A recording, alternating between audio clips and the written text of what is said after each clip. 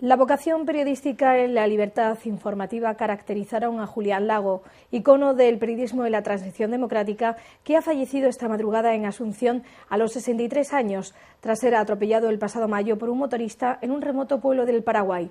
Lago, polémico, genial y particular, quería escribir y ser él mismo cuando emprendió su viaje a Paraguay, alejándose de la farándula del mundo periodístico, tal y como dijo unos días antes de partir.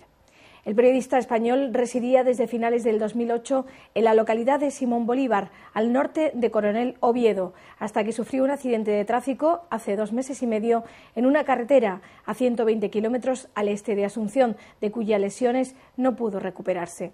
Julián, con 63 años, problemas de salud y decepcionado del mundo que rodea al periodismo, había decidido a finales del 2008 dejarlo todo y marcharse al Paraguay, a una zona rural del país donde pretendía ayudar a comunidades de indios guaraníes necesitados.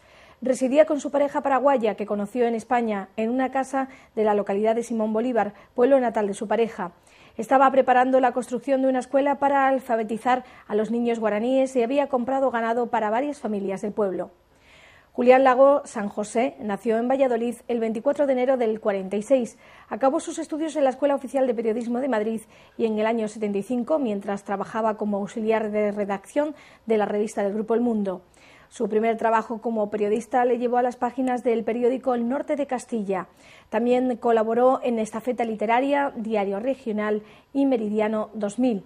En el 76 fue nombrado redactor jefe de la revista Interview y un año más tarde llegó a la dirección de Reporter. Trabajó en distintos medios del Grupo Z, del que salió en el 88 para fundar la revista Tribuna de Actualidad. En el año 93 alcanzó la popularidad entre el gran público al presentar el programa La máquina de la verdad en Telecinco.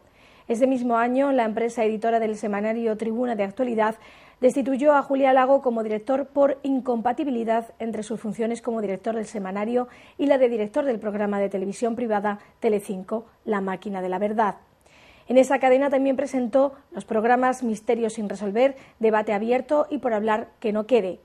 Entre el 97 y el 2006, el periodista tuvo que comparecer en varias ocasiones ante la justicia y fue condenado en dos ocasiones a pagar cuantiosas multas por verter insultos a Ana Obregón desde el programa La máquina de la verdad y por afirmar, en un reportaje publicado a principios de los 90, que la actriz Amparo Muñoz sufría SIDA. En el campo radiofónico trabajó en el programa de la COPE, La Linterna, La Espuela, en Radio España y participó en diversas tertulias radiofónicas y de televisión, como en el programa de Intereconomía Televisión El Gato al Agua. Colaboró en los diarios El Mundo y La Razón y fue director del periódico Tribuna de Salamanca entre octubre del 2006 y septiembre del 2007.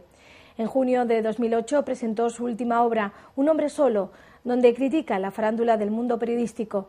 Lago afirmaba que los medios de comunicación ya no son lo que eran, sino una factoría de mentiras prefabricadas en un despacho.